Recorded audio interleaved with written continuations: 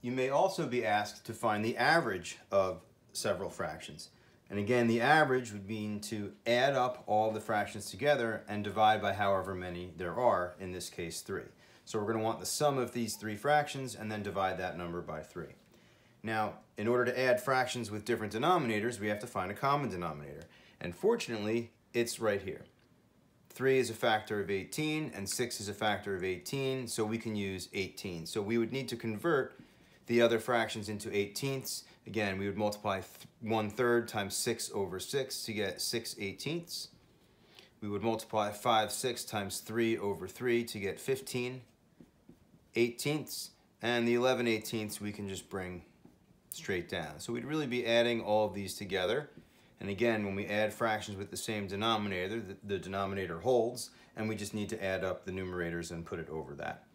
Um, 11 plus 15 is 26. 26 plus 6 is 32, so we would have 32 eighteenths.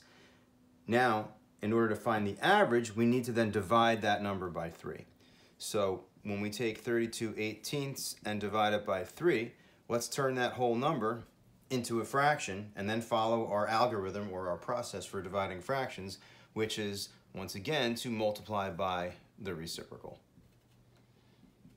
When you want to do this, again, we can break these numbers up according to their factors, and I know that 32 is 16 times 2, and again, I can extend the fraction bar here, and 18 is 9 times 2, so already I can cancel out my 2's, and that would leave me with 16 times 1 or 16 divided by 9 times 3 or 27.